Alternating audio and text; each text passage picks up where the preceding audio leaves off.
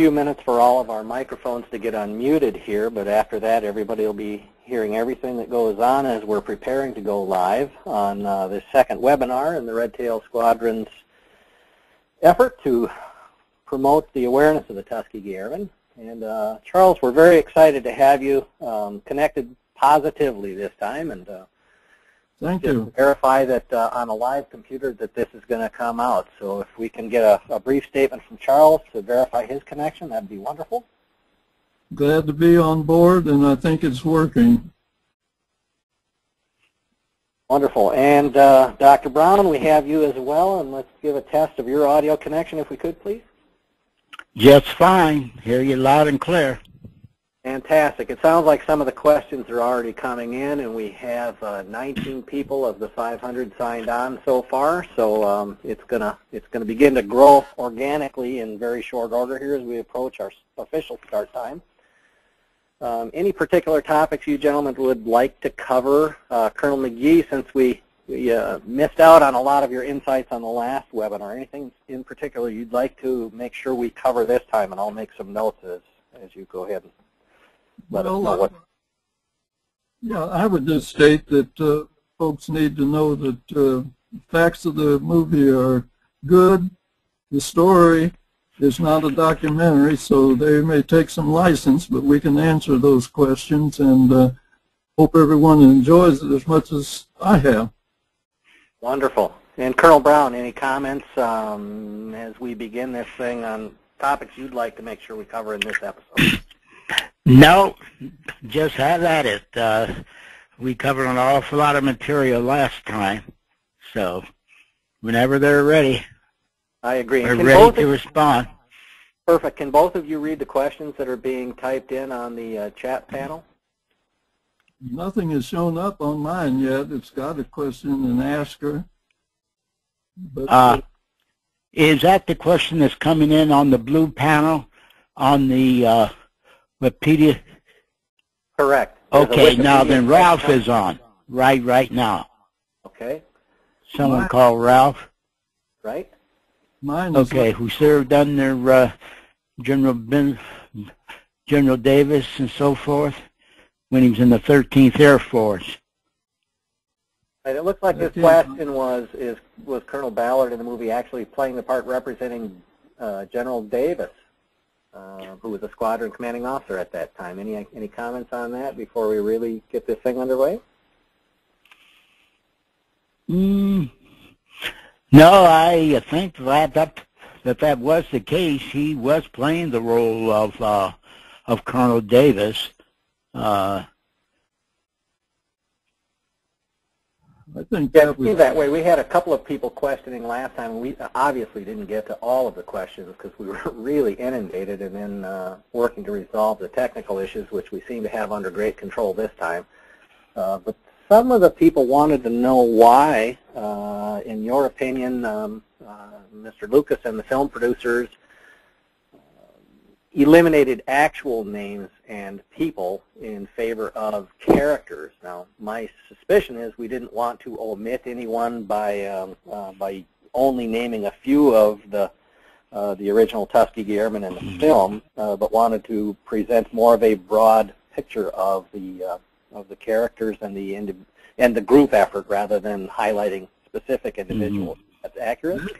that was the effort was to uh, it's a composite and they did not want to name individuals. It's not a documentary. In a documentary they would have named individuals. Here they gave fictitious names and you can make some assumptions if you choose. Yeah, I think it would have been uh, perhaps a more appropriate if they would at least have named uh, B.O. Davis. And uh, and maybe one other, but no more than that. Uh, and I would have been very comfortable, you know, Certainly. if he just, you know, just identified and the fact that he was playing Bill Davis and uh, use that name. Uh, but no, but no other name should have been used. the, the problem the, the problem with using an actual name when it's not a documentary affects the story because everything in the way they presented it to make it a movie isn't exactly how that person may have uh, performed. For instance, in the movie, they have a squadron commander who happens to be the drinker. That may not be. Did we have a drinker somewhere? Yes. Did we have a squadron commander who was doing the drinking? I'm not aware of it. I'm not aware of it either. Wonderful.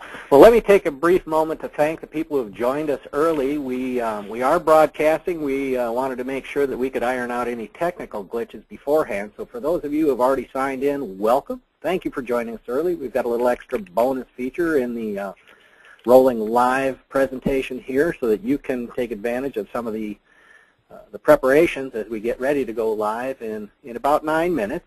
So stay with us, and by all means, we'd like to uh, invite you to uh, share with your friends and colleagues the uh, the sign-on information at tinyurl.com slash redtailwebinar2. That's the one we're starting today. We have Colonel McGee and uh, Colonel Brown on the line with us, and we're grateful for their participation. If I can ask if uh, some of the people who have signed in now can type in a uh, kind of a, a, rating of the audio quality, we'd appreciate getting some feedback now as we're getting ready to go live on how it sounds on the, on the systems you're receiving us on. So take a moment, feel free to bounce in any comments on the audio quality or any of the other issues, and uh, by all means keep your questions coming and invite all your friends to join us. We still have about eight minutes before we're scheduled to begin our official broadcast and uh, would like to again thank you for joining us early and welcome you all aboard. Uh, Sterling says the sound is great and very clear. Thank you, Sterling. We appreciate that, and uh, we hope it continues as such through the rest of the broadcast. We're excited to have you on board here.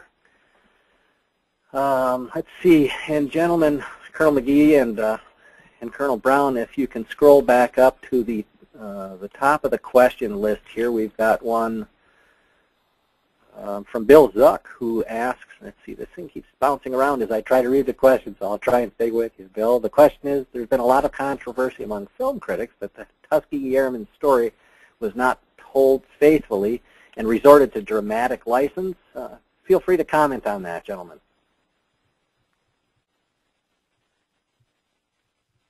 What was the question again? Will you repeat well, the, the question reverts back to the Colonel McGee's comments about uh, the um, uh, the characterizations and the generalizations rather than it becoming a documentary effort. Uh-huh.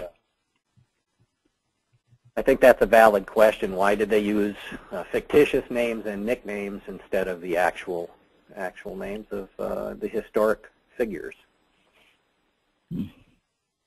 So Colonel McGee, I think you addressed that briefly. Well, I have absolutely no comment on it, really. And why it was done, I don't know, unless it was like Colonel McGee suggested earlier, that this was not a documentary. This was a movie. And, uh, of course, and if it was a movie, there's an awful lot of prerogatives that the producer and director is going to have in that presentation. So whatever reason you know, that they chose to do it that way. That's true. Know. There's there's so many ways you can tell a story, and they go to script writers and they accepted the story that that you see in the movie. We could all say, well, if they'd asked me, I might have said do it this way. Um, so there's a lot of prerogative in, involved here uh, in the nature of this this type of movie, trying to portray actual incidents and so on in a non-documentary format.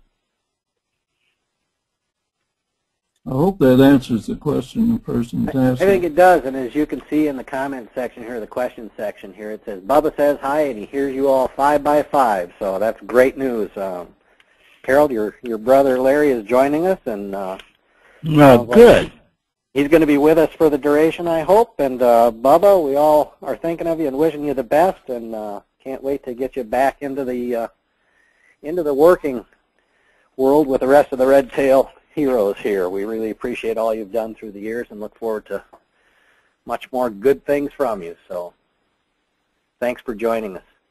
We're about five minutes away from the official start, and um, looking forward to that. By the way, you feel free to, uh, let's see, Bill Zuck asked another question. Can you compare the Red Tails with the earlier HBO program, Tuskegee Airmen? Colonel Well- McGee, do you have any comments on the comparison between the new film from Lucasfilms and the uh, original HBO film?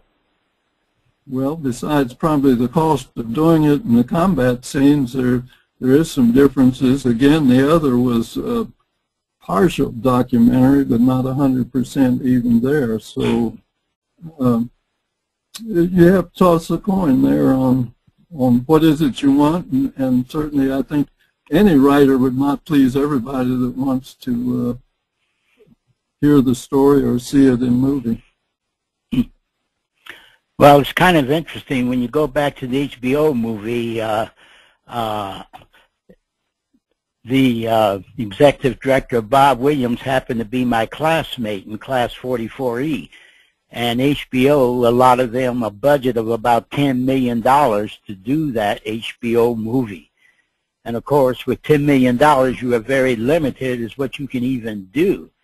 And uh, you know, Bob told me that uh, many of the scenes in which they had the P-51 sitting out in the field were nothing more but cardboard mock-ups.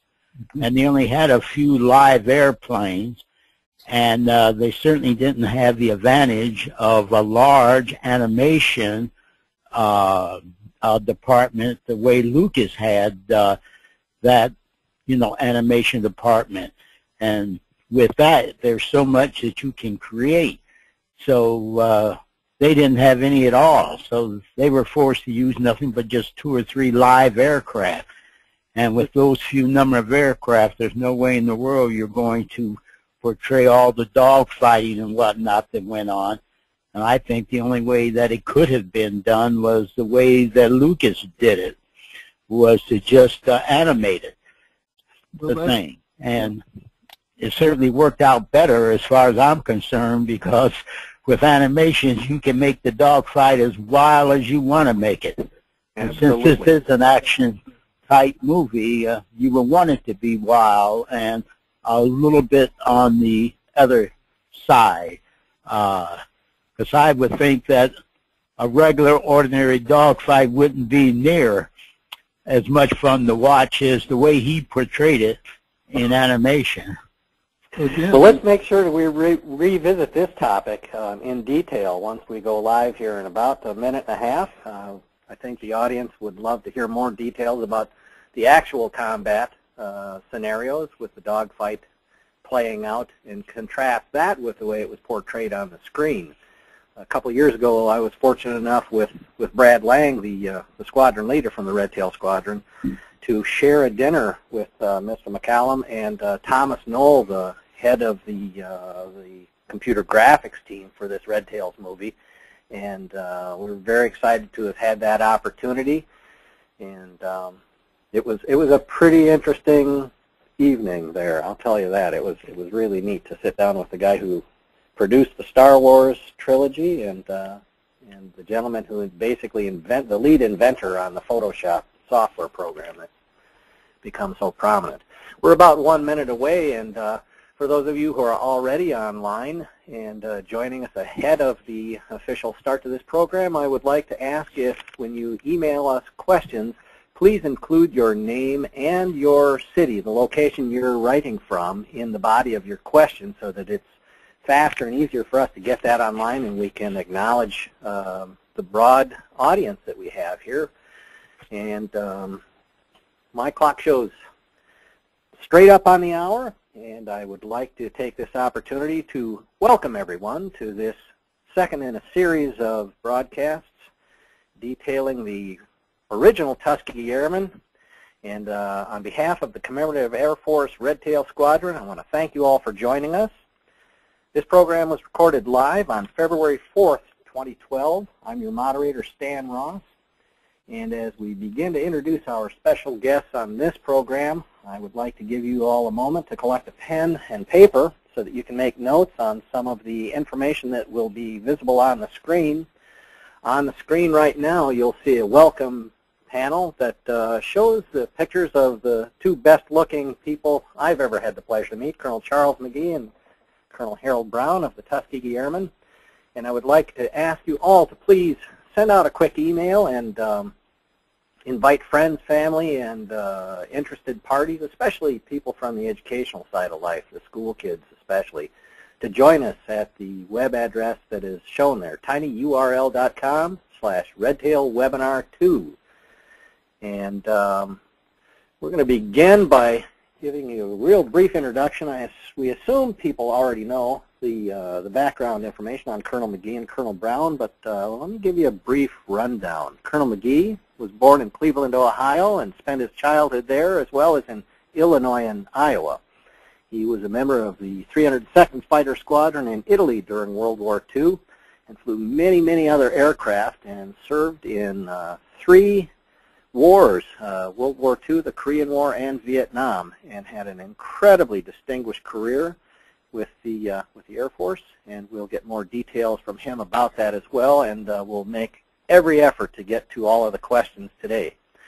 Colonel Harold Brown was born in Minneapolis. We're proud to claim him as our native son here in Minnesota and was raised in Minneapolis and graduated from North High School and uh, in 1942 and uh, became a, a pilot and graduated from class 44E of the Tuskegee Airmen.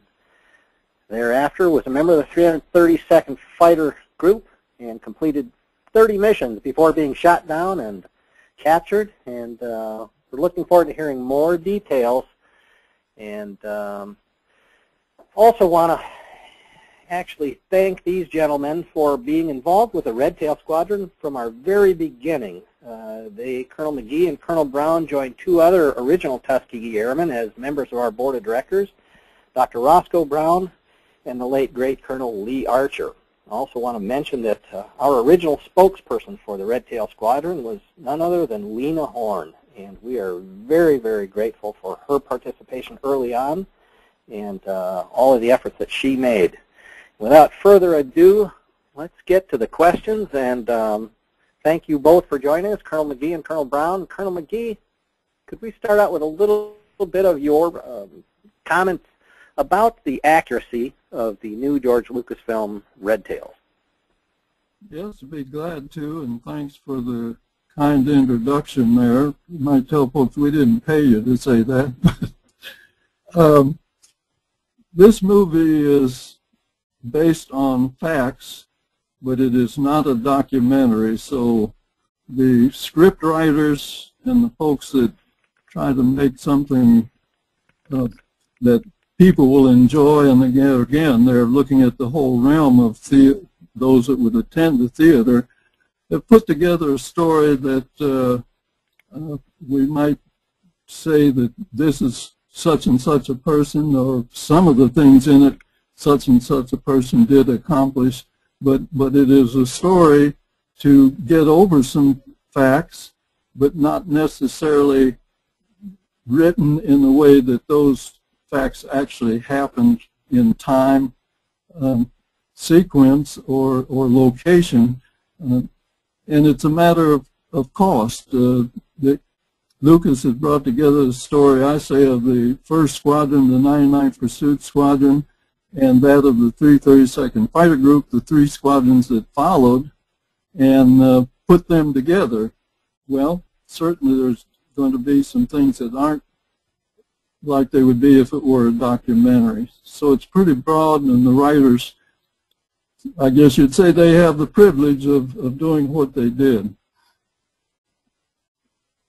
Absolutely. And I would invite both of our special guests, Colonel Charles McGee and Colonel Harold Brown, to take a look at the chat line and feel free to respond directly to some of the questions that are appearing there. For example, this one from Maxine Walker Giddings. And she says, I understand there was a black woman married to one of the Tuskegee Airmen who was an expert pilot herself. Due to the prejudice of the time, she was not allowed to join the WACs or fly for the U.S. military. I believe she's referring to Mildred Hemmons Carter, who actually on the date of our last broadcast, February 1st, uh, that was the 71st anniversary of her becoming the first black woman in Alabama to earn her pilot certificate. I noticed that she was very, very proudly credited as one of the technical advisors in the film. Um, Herb Carter's wife, Mildred Hemmons Carter, was a very prominent aviator in her own right. Uh, did any of you, either of you gentlemen, happen to have the pleasure of meeting Mrs. Carter?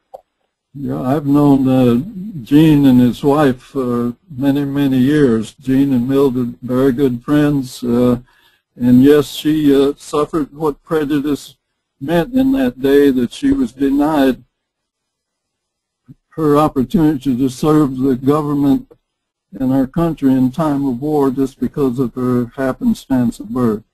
But she didn't give up on flying and flew a great many years of her life. And unfortunately, we lost her very recently. Colonel Brown, did you have- did you have No, You I never had the pleasure of uh, of uh, meeting the lady.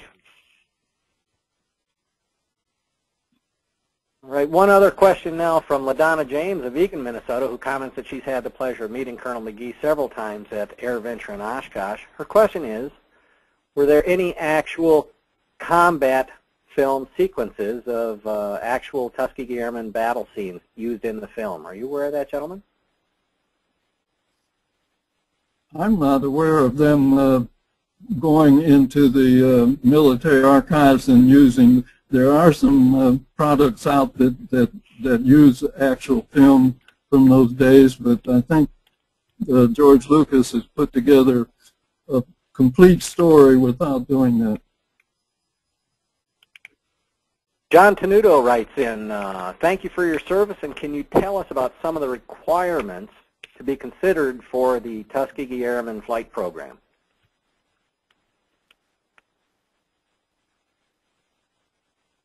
Well, as far as I know, the standards for a cadet um, weren't changed because of this uh, first experiment and then the follow-on in the continued training at Tuskegee. Uh, we met the same training standards that were uh, part of the Southeast Flying Training Command. Um, folks, some may not realize that in very early start of it, uh, to enter the pilot program, you had to have a college degree. Well, by war's end, you could become a pilot with just a high school di- diploma. Uh, so times did change, but uh, the selections, um, and I'm sure there were many who could be were good pilots that, that uh, didn't make it through the Tuskegee program. We weren't called Tuskegee Airmen, if you realize, in the early days. Um, that's a name that stuck uh, after we look at history and, and say what happened. Bill Helms from Cheyenne, Wyoming sends a question. Did they did they actually fly P-40s prior to the P-51s? Colonel Brown, could you perhaps uh, spend a moment talking about the aircraft that you trained in and flew during the uh, both the training period and in combat? Well, uh, once you once you completed your your advanced training, uh, then you transition in the fighters. Uh, that was all done with the with the P-40. Um, I think amounted to something like 15, 20 hours you got in that P-40 is all part of the transition. Then you went into fighter training. Uh, I, in my case, uh, the 332nd was already overseas, and I went down to Walterboro, and I flew the P-47 down in Walterboro for, oh, something close to about 60 hours as part of my fighter training. But they did that because uh, the 332nd had been transferred over the Ramitelli, and they had been assigned to fly the uh, and they had been assigned to fly the uh, the P-47. But that but they only kept the P-47 for no more than uh, than about a month or so, about 30 some days or so, and then they went into the P-51. So even though I flew it for 60 hours down there, then when I went overseas, uh, uh, I wasn't even current in the airplane they were flying. So I had to then check out in the uh, in the P-51, which is what they were flying at the time that I arrived, which was in uh, which was back in uh, October of 1944. So uh, I don't know if that is uh, responsive to the question or not, but uh, That was That my sounds like a case. terrific response. Thank you. And uh, I'm going to take a moment to ask the uh, the rest of the panelists to make sure that the volume is turned down on your computers that you may be using at home. We're getting a little bit of audio feedback, and I'd like to make sure that we present our listeners with real clear soundtrack as well. And remind you all that this is being presented by the Commemorative Air Force Red Tail Squadron, a volunteer-driven organization dedicated to telling the, the real story of the airmen. And uh, we are very grateful today to have Charles McGee and Colonel Harold Brown join us to relate their their real experiences in World War II and beyond. So um, if any of you are uh, in a position and appreciate what we're doing, there's a uh, an opportunity for you to donate and help support our educational mission it, um, by your your uh, cell phone only. And it's really very easy to type Redtail. Send the text Redtail to the phone number that will appear on your screen shortly, and that'll result in a small $10 donation that is seamless, painless, and will be very, very, uh, very much appreciated here. So there's the information on the screen now. If you'd like to contribute, make a small dollar gift, you can simply text Redtail to 20222 on your cell phone, and we'd be grateful if you would. Colonel McGee, Yes, Stan. in between missions, what did you do for uh, relaxation? What did we do for what? Relaxation, how did you spend your time between the missions and the sorties that your your team? Well, our relaxation was we weren't that far from the Adriatic Sea, and you might get a chance to go down and stick your foot in the water. But uh, under segregation, we had overseas uh, the rest camp for officers, pilots was on the Isle of Capri. Unfortunately, we now known as Tuskegee Airmen never got to the island of Capri. We ended up having to have a find a villa in the hills overlooking Naples Harbor. And we went on to have, and generally uh, you could get uh, five days recreation after a few months uh, there in the theater. Um, and later, when Rome was an open city, you could get three days in Rome. I know I like the five days better than just three, so I never got to Rome at that time. And let me add to, to the question that was asked on, on training. I came through a little ahead of uh, Harold. I was in class 43F. We got a few hours in the P-40, which the 99th was then flying over in Africa and Sicily. Um, we were combat ready in our training in the P-40, and they said, oh, we're changing your mission. And we retransitioned into the P-39 Bell Airacobra. And we still left the States on schedule and got into Italy in uh, January of 44. And while the 99th was still flying interdiction with then the 79th Fighter Group, we were flying patrol of Naples Harbor and the waterways up to Anzio Beachhead in the P-39. When the group was picked to join 15th Air Force and become a part of the escort services, that's when we we gave the P-39 to the Russians. We picked up P-47 Thunderbolts, flew a little over, I think it was like about late April of 44. 1st of July is when we got the P-51. Those transitions took place in combat, and we need to salute our mechanics because they didn't have time to go to school, neither do we pilots. You read the tech order, sat in the aircraft, found where the switches were, and we were in combat. Of all the aircraft you flew in uh, World War II, Colonel McGee, what was what was one that, that served you best? What did you enjoy flying most? Well, the P-47 was a great, a large cockpit, very roomy, eight guns, that was good.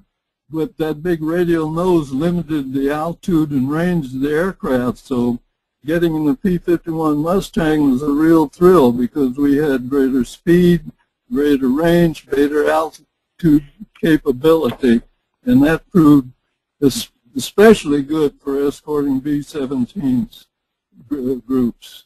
Uh, but but it was a premier fighter at the time. So, and I have to put a caveat on that.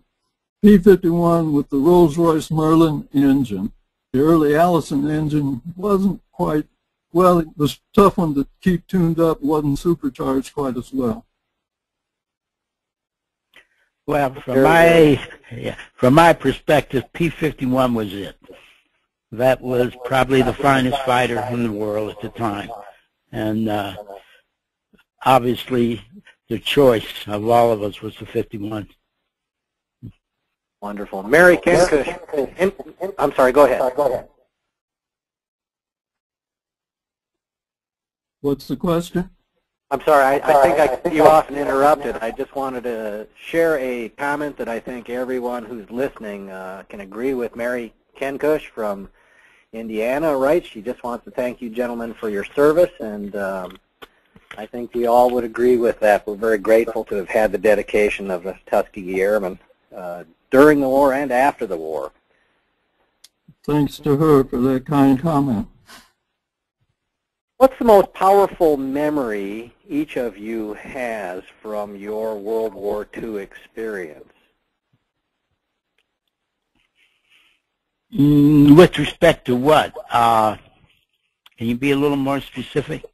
Well, when you think back to the time you spent in Europe fighting for this country, what really stands out in your memory as a as a really strong event or episode that that you recall frequently? Well, uh, I will. Well, I'll respond first. Uh, uh, you know, when I came in the military, I only had one goal. I was uh, graduated from flying school. I was 19 years old. Uh, politically, I wasn't that astute. Uh, my whole reason for even going into the military was very, very simply, I wanted to fly aircraft. That was my primary goal, and that was all I ever thought of. Uh, and I never really took it beyond that point. Uh, it wasn't until later on in my life that I really started gaining some insight as to the significance of what we had really accomplished. But uh, but during the war and whatnot, I was a pilot. That was my goal, and I have fulfilled my goals uh, by becoming that military uh, pilot.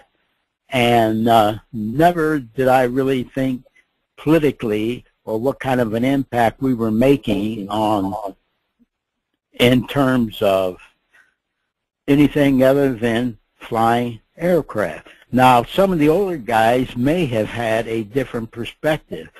And, uh, of course, they probably had a little different experience than I had. And being a little older and whatnot, uh, they have probably had uh, been touched by segregation much more than I was. Me being born and raised up in Minneapolis, Minnesota, where we were less than one half of one percent, the black population up there. Um, I I didn't go through any of uh, some of the experiences of guys that were born and raised down in the southern part of our country. So my perspective was just completely different from, say, some guy who was raised down in Alabama, Georgia, or or in Mississippi.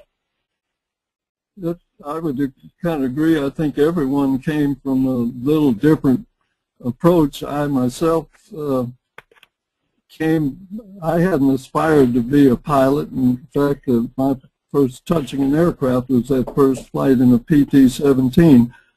But our country had gone to war, and every, it was, a, you might say, uh, a bit of loyalty that everybody had to want to participate some kind of way, whether you were getting a job in the industry and the war buildup that, that helped out many after we coming out of 10 years of depression.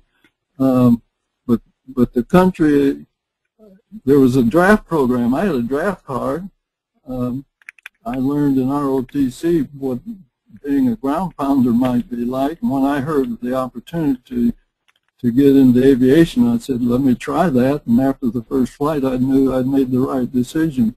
But, but there was an unwritten, if you will, bit of loyalty on the part of blacks as well as anybody else to serve our country that had declared war against Hitler. It's an admirable, an admirable effort to go to to go to fight for a country that treats you as poorly as as people were treated back in the day. Um, we have a couple of questions that are very, very similar. Uh, one from Winnipeg, Canada, and another one from one of our young listeners today. Zachary, six years old, from Greenwood, Indiana, wants to know what was it like to be captured during World War II, and how were you treated by the Germans? Well, since I was shot down and captured, uh, I guess I can respond to that. Uh, when I was shot down and brought back uh, to that little village we had been strafing, uh, I was almost in a state of shock, to be quite honest with you. Uh, the, the thought occurred to me, what in the world am I doing in this little village up in Germany with this black face and a war going on? And for just a short while, I, it was just a little difficult for me to really accept, Harold, you are in a heap of trouble. And whether you like it or not, uh, you are now a, a person who is now up in Germany in a place that you would rather not be in. And uh, uh, from that point on, uh, I didn't know what was going to happen. I couldn't speak the language. I couldn't understand anything. Uh, was I scared to death? Yes, I was scared to death. And uh, the thought occurred to me that uh, if I get out of this alive, it's going to take uh, a whole lot of help from somebody. And fortunately, uh, there was an old constable there who came around because they had picked out the most perfect hanging tree, and they were walking me down to it, and it was perfectly clear what they had in their minds. Now, if you think we had just strafed shrapnel flying all over the place, I might have killed some guy's mother, his sweetheart, or or what have you, which was not our intention, but it most certainly could have happened. And then here I come floating down in a parachute. Well, those 25 or 30 people who met me as they walked me back into the village were very, very angry people. And understandably, they would be very, very angry people. But there this constable came up, rifle, put a gun on the people, kept them away from me. We backed up into a little pub. We barricaded ourselves in it. And I often thought, boy, this guy had saved my life, which I didn't occur to me at the time. But later on in life, I thought, Harold, you ought to go back and find that guy because he saved your life. And he had to know every one of those people in that village. But yet and still he held a rifle on them. And he uh, prevented them from uh, from hanging me. So, you know, there it is. And that is the way it was when I was shot down. A frightened little 19, 20-year-old kid who felt he had no business up in Germany, which I did not. And here I found myself in a situation about to lose my life until someone came along and saved my life. You know, there were 32 uh, airmen who became POWs.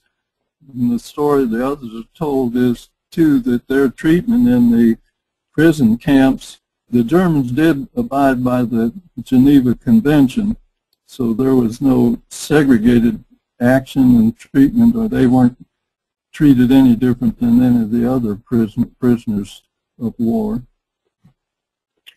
Uh, it's interesting. Uh, I uh, I jokingly remake the, make the remarks that uh, uh, the first time that I was integrated was after I was shot down and I was a POW. It's a heck of a way to come to justice, isn't it?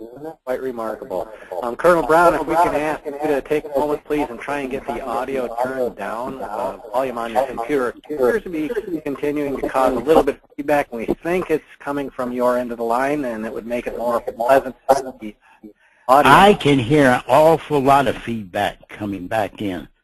Well, we'll keep troubleshooting that if we can resolve that. And um, we have another question from a young listener named Nikki who loves learning about the Tuskegee Airmen since seeing the Red Tails film. And he asks a really interesting question. Can you please explain what you named your airplanes and what meaning it had for you? Uh, Colonel McGee, could we start with you on this one?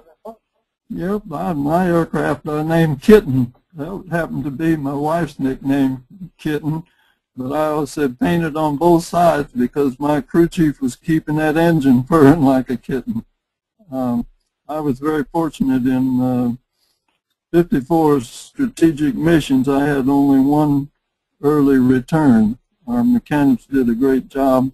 But that was the nickname I had on the plane. Of course, when I came home after 11 months overseas, somebody else flew the plane. So during Harold's time, a different pilot was flying Kitten.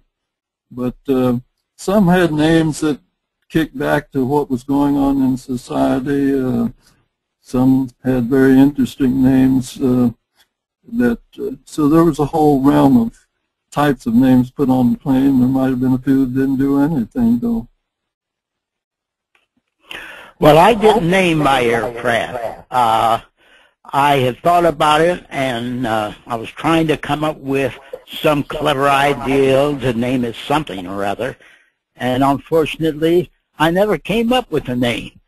So uh, the aircraft that I was assigned, A-32, uh, was flying around without a name on it. And uh, the day I bailed out of A-32, uh, it went down without a name on it. So, nope, I never named my aircraft. Very interesting. We have a question from Alice Brown towards Harold. Uh, she asks, can you tell the story about the Jewish kid you met while you were in jail? uh, Joe would ask that question.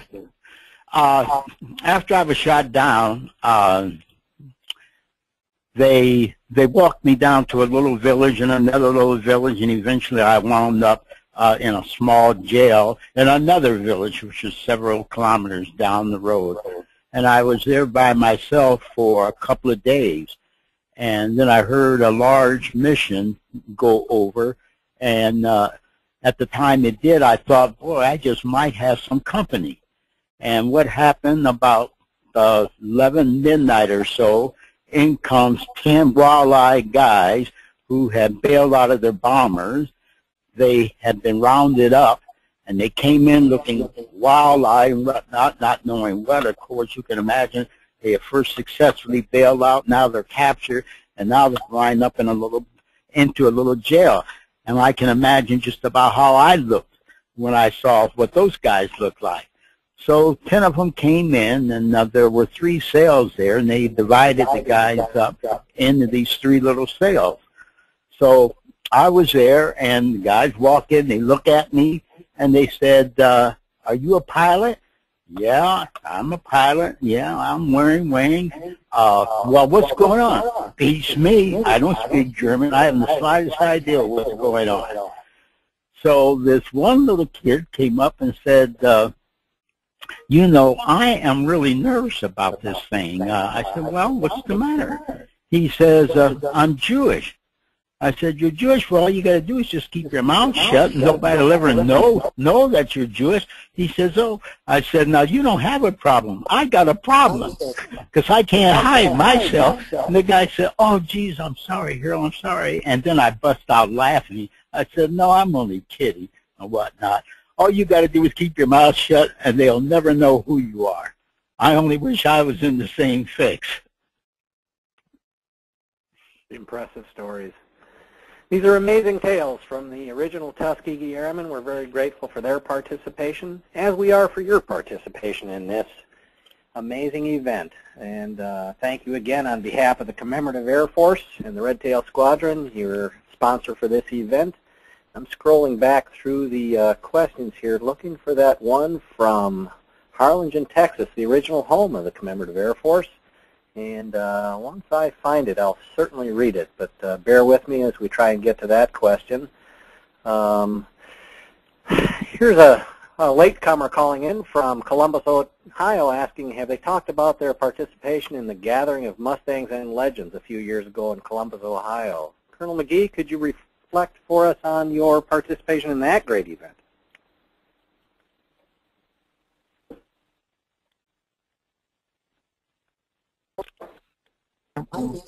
and, and in the air at one time, and just the gathering of folks that love Mustangs. Uh, it was a great show and, and a great opportunity to share with folks that have that common interest, whether you're the pilot of the plane or the mechanic of it, or just liked the looks of it and wanted to be around. Uh, that that was a great great event uh, indeed. Well, I only spent a couple of days down there. Uh, I went down on a, a Friday uh, uh, and uh, spent the day primarily looking at all of the beautiful P-51s that were that were flying in, and so I didn't really participate that much into it. But they did have a number of guys, uh, a number of Tuskegee guys came in from all over the country. And uh, they must have had oh a nice contingent. Must have been 25 30 30 old red-tailed pilots there. Uh, but unfortunately um, I was not there to uh, participate in it. Uh, William Pinkney, uh, and I'm not sure where William is from, asks if General Daniel Chappie James was a member of the Tuskegee Airmen during World War II. Yes, Chappie James when I, this is McGee speaking, when uh, I started my cadet training, he was a civilian instructor in Tuskegee Institute's Civilian Pilot Training Program. Uh, somewhere there in 1943, they gave the civilian instructors an option to come on active duty. I think they made them warrant officers, and that didn't go over well, and they said, well, you go back as civilian or come on active duty he chose to go and take the basic and advanced training and, and get his wings. And then you know the rest of the story. I was fortunate to serve with him in Korea as well. He was in the 12th Tactical Fighter Squadron, and, and I was in the uh, 67th. And we both served our 100 missions in Korea at the same time. He came back. He was finishing a tour in the Philippines, and I had just gotten over there, so he came back to the States after his Korean flying, and, and I went back to the Philippines.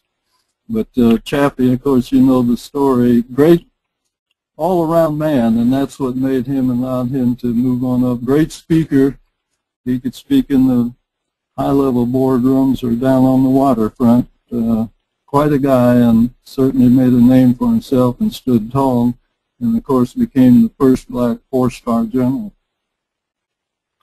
Uh, it's interesting. Uh, let me just make a couple of comments. Back in 1946, uh, there were five of us who were selected to go to the Central Instrument Instructor School, which was uh, uh, a fantastic school.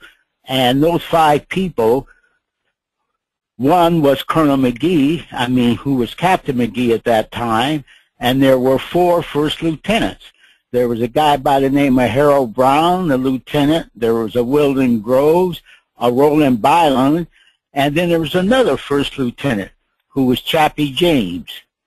And uh, that's when I first met Chappie James. But it was kind of interesting to have been there in school with him and then to see how Chappie rose through the ranks to become the first four-star general. Well, I've come upon that question from Dr. Uh, Jones from Harlingen, Texas, asking, uh, particularly to Colonel McGee. Uh, Dr. Jones apparently served in uh, Vietnam at the time you were there, and he asks, what kind of aircraft did you fly in the Vietnam conflict? The Vietnam conflict, I flew the uh, RF-4C, the reconnaissance version of the F-4. No weapons, speed was our defense. Fantastic. Hello. And then a general question uh, about uh, your impressions of uh, General Benjamin O. In what ways did he shape the attitudes and the behavior of the airmen? This question from Barbara Gamp. Well, I can say from the early days when he uh, took command of 332nd Fighter Group, we certainly all respected him for what he had been through, and uh, uh, we, we also respected because most of us at that time were reserve officers, and he was a regular officer, stood tall, straight as an arrow, uh, very stern in a way, very demanding. Somebody we respected, and that respect lasted a lifetime, really, uh, with, with, with him. I, my own experience, I'd almost say wasn't an easy person to get to know, but certainly respect was the highest from the very beginning. Uh, the only comment I would make is that uh, uh, Colonel Davis did a fantastic job of really preparing us for integration. Uh, he was strict, strictly military. I can remember when I came overseas, he came in as he normally did. He greeted us. We're happy to have you within the organization. And then he went on to say, let me tell you what your primary duty is. Your primary duty is to protect these bombers, to get them over target, get them back home safe and sound so they can fly another day. You don't win a war by shooting down a few aircraft. And he said, and I'll tell you now, if you ever leave the bombers to go over looking for personal victories, he said, you can shoot down 10 and you come back here, I'll court-martial you. So with that very, very strict attitude, there was no question in your mind what your responsibility was. We were there to escort the bombers, to get them over the bomb target, and to get them home safely. That was our duty, and that was our primary responsibility. You react to fighters only in those cases in which an attack by a fighter was imminent and they were going after a bomber. Then you engage those fighters to prevent that from happening. But with that very, very strict military of his, for the uh, years that we served overseas and came back and served at Lockbourne, when integration time came in 1949, uh, we were as ready as anyone uh, to accept that new responsibility. Very, very impressive. Fully agree. He was a great leader for us in that time and stage, and uh, the results showed. We have another question from Maxine Walker Giddings asking, did you personally, uh, did any of the airmen, uh, as you personally observed, lose any of the bombers that they were escorting? I'm not aware of it during my time frame there. I say, that's from uh, from the escort work we started in uh, April of 44. I came home late November 44. I'm not aware of it because uh, we believed what Colonel Davis said, and he was a man of his word. Um, so uh, I'm not aware of anybody trying to deviate from his guidance. Oh, for myself on all 30 missions, I cannot recall uh, a bomber being shot down due to enemy aircraft engagement. Uh, granted, uh, they they did find out that it was the case that there were missions in which bombers were lost, but uh, from my recollection, uh, it never happened uh, on any of the missions that I was on. Well, I think uh, in my case, uh, when you look at all of the mission reports the, from beginning to the end of the mission, uh, there were some losses, but exactly where, when, who, were they stragglers, were they with the bomb formation? Sometimes planes uh, got out of formation there's just so many things. But uh, yes, there were some losses during my time frame, but uh, our record compared to others is still very creditable. We have a question from Indianapolis, Indiana, from Tom Berry. Uh, his question is, how many Tuskegee pedigreed P-51s are still remaining today? Do you gentlemen know of any? I'm personally not aware of any that uh, served as Tuskegee Airmen aircraft, and uh, would love to hear if you know of any. I'm not aware of any. In fact, I had heard that uh, they scrapped most of the aircraft when the group uh, was stood down and, and left the theater. Exactly what they happened, I don't know, or where they gave some to the South American countries. Uh, there's only a couple of uh, the C models flying today, but none of them trace their history to having been overseas. In fact, I don't know how many of the 51s flying here in the country now, if any of them came from overseas. I'm not aware. No, neither am I. And that's one of the tragedies that um, inspired the, uh, the founders of the Commemorative Air Force to begin preserving these aircraft. As, as you gentlemen know, the CAF is a dedicated group of volunteers operating all around the United States and in several other countries, um, restoring and preserving into flying condition the aircraft of World War II and beyond. And we're, we're very proud that we've had the, the tremendous support of a number of key volunteers and other organizations in getting the Red-tailed Mustang going. And um, it's an honor to serve with you. And uh, in the three minutes remaining during our allotted uh, our allotted program, I'd like to invite those of you who are able to stay on for a few additional minutes for more bonus questions and uh, answers. And if uh, our special guests, Colonel Charles McGee and Colonel Harold Brown can remain on the air, we would love to have you comment further. And uh, question coming in from Scott Morrill asks if either of you know Colonel Luke Weathers of Memphis.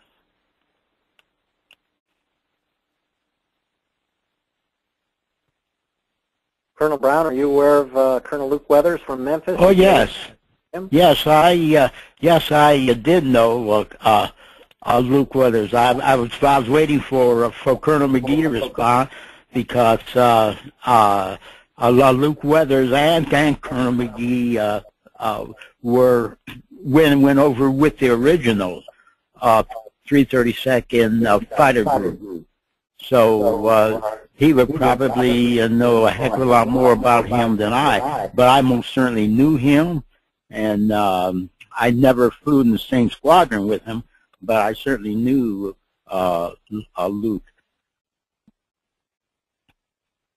Colonel McGee, did you serve with Colonel Weathers in any combat roles?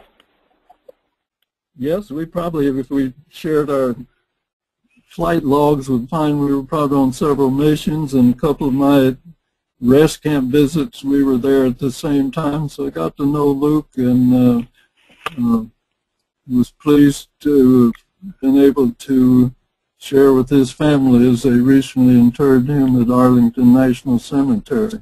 Although back here in the States our paths didn't cross that much, but we did have periodic contact. And that's one of the things that that training together, combat together, and post-combat period gave us lifelong friendships. Wonderful. Wonderful. And just to wrap up uh, official first 45 minutes of this program, before we uh, continue on to the unofficial addendum here, we have a very good question coming from from uh, Gurnee, Illinois, asking, where were you when you heard the war was over, and uh, what was it like returning to the United States after World War II? Colonel McGee? Well, Harold, you were over there when it ended, weren't you? Yeah, as a matter of fact, uh, uh, I was in Moosburg, uh, POW camp about 30 miles, 30 nautical, uh, not 30 miles, 30 kilometers north of Munich, uh, when Patton came through and liberated us in April of, uh, April 29th of 1945, and then the war ended just about four or five days later than that on about May the 4th or, or, or 5th. But as far as I was concerned, once I was liberated, the war was over as far as I was concerned. But it officially ended, like I said, about four or five days uh, days later. And uh, and we knew that even in POW camp, we knew that it was going to be over soon. Uh, we knew the Americans were getting closer and closer. Uh, even even some of the guards that were there guarding us was telling us, well, within a short while, you guys are all going to be liberated, and uh, the war is going to end. And about two hours or so before Patton uh, knocked down the wire fences and whatnot, uh, the guards all got in formation and kind of waved to us goodbye as they marched out, out of the uh, out of the POW camp. Uh, since uh, Patton's would be there, and his arrival was imminent, and he was no more than just an hour or so away, and they just left left the prison camp. So uh, that was my, uh, you know, feeling. Here it is. The war was over for me at that time, and uh, was I elated, happy, tickled to death? I was now going to get a decent meal. My case, I had come home and uh, had become a twin engine instructor down at Tuskegee. And of course, uh, we were training pilots that were going to go join units going to the Pacific. So the war ended, but uh, we didn't celebrate or stand down. Training continued. So it was a happenstance that you read in the paper, but our work went on. Fantastic. We have a really astute question from nine-year-old Matthew from Greenwood, Indiana, who wants to know what sort of formations you flew to escort the bombers, and what was that experience like? I'm curious myself, seeing the depictions in the film of these incredible, just vast numbers of aircraft. Can you tell us a little bit about the typical bomber escort mission and how many fighter escorts were involved and how many bombers you typically protected? Let me start, and Harold, you pick up because I think it Okay. changed a bit. In the early days, each squadron put up 16 aircraft. Well, we put up 18 two were spares. If everybody else was moving along okay after 15 or 20 minutes out, they would re- the spares would return. But we put up 16 aircraft, um, and uh, the squadrons, uh, our escort varied. Sometimes we had what is called penetration escort. Sometimes we carried the full mission. Sometimes we had egress escort. So it depended on the length of time and how many bomb groups were, were involved. I think each bomb squadron uh, put up 12 aircraft. They didn't have as many aircraft as the fighter squadrons had per, per unit. Uh, but there were a lot of aircraft in the air uh, and generally, we flew out to the side uh, with the three squadrons and later four squadrons. We'd have some above the bombers, some out to the side, maybe sometimes one just below them, the, the bombers. But that, that's the way it was in the early uh, days of the escorting, and uh, I think it depends on the target how many bomb squadrons or, or bomb groups might be involved in the same uh, raid. They could have the groups going to different locations rather than Ploesti oil fields, Regensburg chemical plants, of course, late in the war, even all the way to Berlin. But Harold, you may have done a little differently in your time frame. Yeah, yeah. Well, ours is quite similar. Uh, you know, we would go out, uh, the bomber group, uh, we could hear them go over Ramitelli on their way. We would take off an hour, hour and a half later, and we would pick them up at wherever the rendezvous point was, uh, just be just before they were going over the bomb line and entering into enemy territory.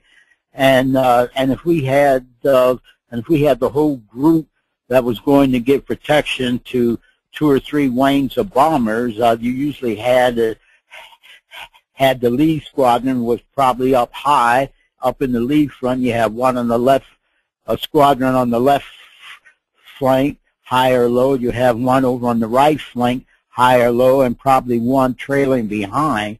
So the bombers were were were well protected, and there were airplanes, pretty much fighters, surrounding all all those bombers. And of course, uh, as you got closer and closer to the target, you had your head on a swivel, you know, watching the horizons and whatnot, uh, just to make certain that there were no surprise attacks.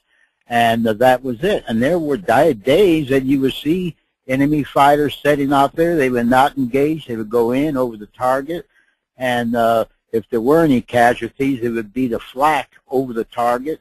They would come back. We would normally circle around the target. They would come off a target, and when they came off, they were a little raggedy because of all the flak they had gone through. And that is when they were the very most vulnerable, is when they came off a target. Because uh, guys had engines out and whatnot, and was hollering for fighter protection and uh, and all this sort of stuff. Uh, but uh, but that was it. And uh, and if it was the case that we would take them in target and take them on withdrawal, then we would stick right with them until we could get them back over the bomb line, you know, back home uh, before we would break off with them. We're going to take time for just a couple of more questions here before we wrap up with respect to the uh, the time constraints that our special guests are encountering today and express our gratitude to them. One question from Jason Proctor says, my grandpa was a Tuskegee Airman, and I want to know whether the movie was accurate when it showed them watching films of their combat actions. Did they have cameras in their planes? Colonel McGee? Yes, uh, there were cases where uh, certain of the actions uh, we had a chance to look at the uh, film and see. Most of the time that was individual rather than as a group though in, in my case because uh, there we all had some extra duties so once we got through intelligence briefing uh, you may look at film during your intelligence briefing as they recap the mission what was accomplished and what was seen and that type of thing. Uh, we I don't recall a, a big whole group uh, uh, or squadron gathering to look at a, at a particular film, but those that were free certainly had the opportunity to sit in and see somebody else's film during their debriefing. And Colonel Brown, comment. Yes, I there there there isn't much more that I can add, you know, you know, to it. Uh, uh, you have your cameras there and there were several positions, guns, guns, guns and cameras, uh, or else guns only. And of course, you always went to the guns and camera position, uh, so that whenever you were shooting, uh, your cameras were right there on it, uh, you know, to confirm uh, whatever it was that you were shooting at. Uh, but that was just about it. Very, very interesting. We got Another question from Winnipeg asking if the the scenes with the Me-262 jet aircraft were realistic. Uh, can either of you comment if you happened to encounter the jets that the Germans put in the air?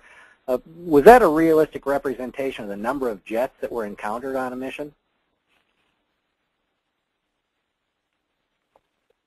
Uh, uh you want to go, I'll or speak first because during I'll speak first because during my time frame, I we did not encounter any of the German jets put up. Uh, they were put up in the defense of, of Berlin and that area late in the war. So Harold, I don't. You you probably had some comment there. Yeah.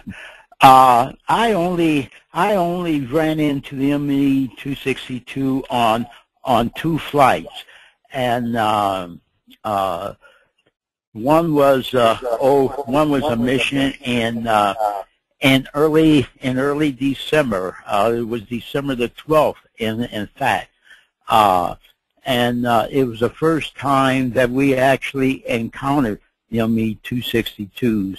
And I was in the lead flight, and Major Campbell, who was our 99th uh, squadron commander, he was uh, he was leading the squadron that day. And I can recall so well, uh, they would just kind of dance out there and sometimes they would come in and sometimes they wouldn't. But this particular day, they did come in. And I can recall myself and, and a wingman, uh, we peeled off on one of the 262s. And interesting enough, uh, as, as we were going down, we were going almost straight down. And while they were going straight down, granted, they had a heck of a speed advantage on us. And I often thought, why in the world would you even dive to even let us even even get close to you? Because their because their straight and level speed even though they were subsonic with a very thick wing, and they, they were not supersonic aircraft, they were strictly subsonic, but their speed in straight level flight was just as great as their speed if if they went into a dive. But they would go into a dive, you would go down with them, and though our speed wasn't quite as close to them, the separation distance wasn't that excessive because we would actually pick up greater speed. And once they go level, they were still going at the exact same speed and they would immediately separate themselves from us. So there's only a couple of occasions that I did see him, and uh, but didn't even get close to him.